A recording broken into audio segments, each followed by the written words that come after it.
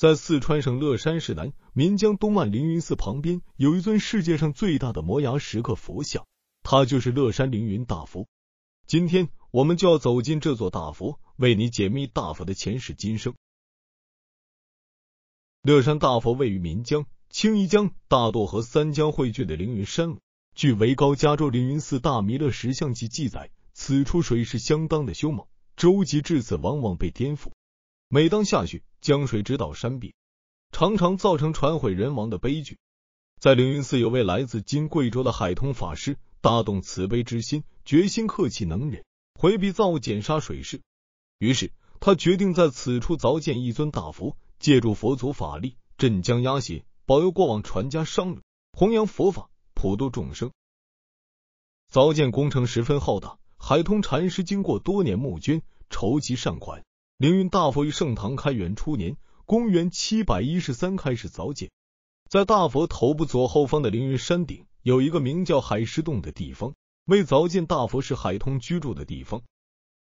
相传，在大佛开凿时，有地方官吏趁机刁难，要收取建造和保护费。海通禅师十分气愤，回应：“你们可以拿走我的眼珠，但不能拿走佛财。”官吏仗势欺人，反而说：“你要真给我们眼珠。”我们就不要你的佛财。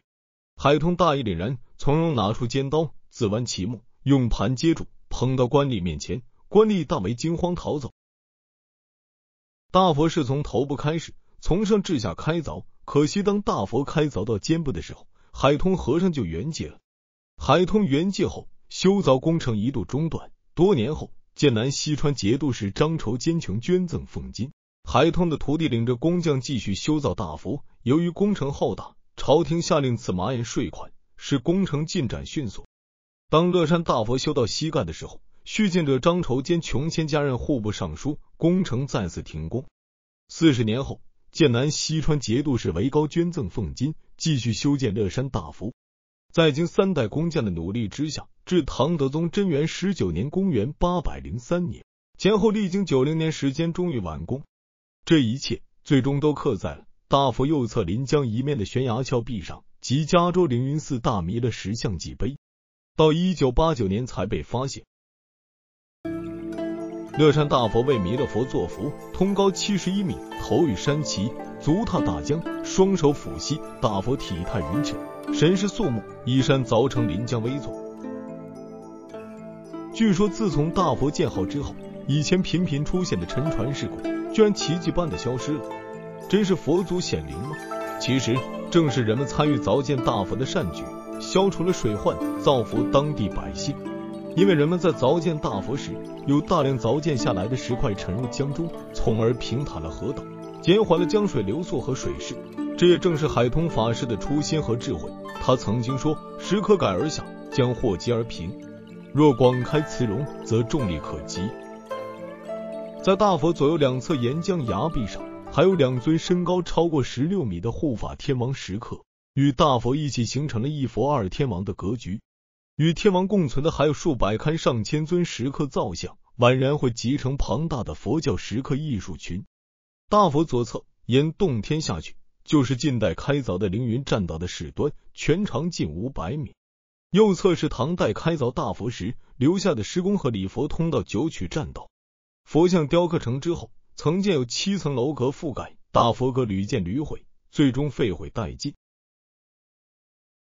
乐山大佛建成至今已经一千二百多年了，饱经沧桑的大佛依然完好，得益于大佛具有一套设计巧妙、隐而不见的排水系统，对保护大佛起到了重要的作用。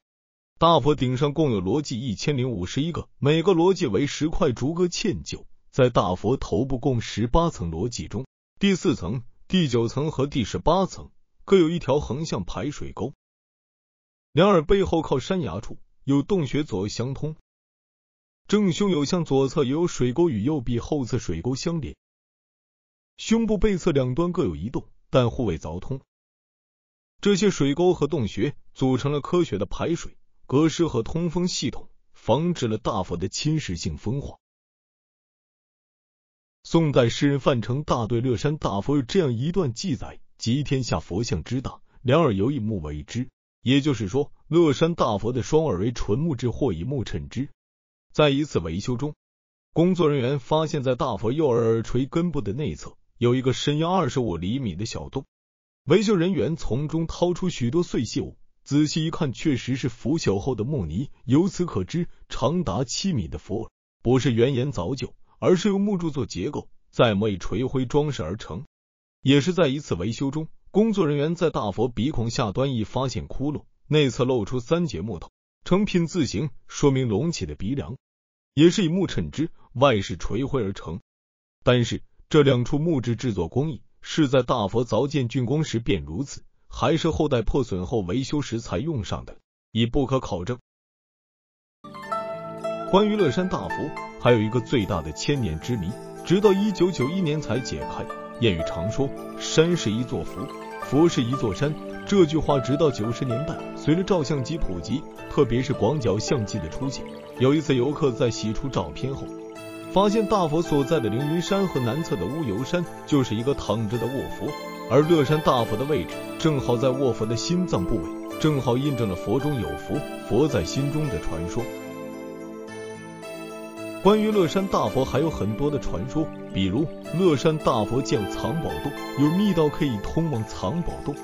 再比如，乐山大佛闭眼流泪事件，这些传说流传已久。由于这里篇幅有限，我们将另开专题来介绍。感兴趣的看官请关注本频道。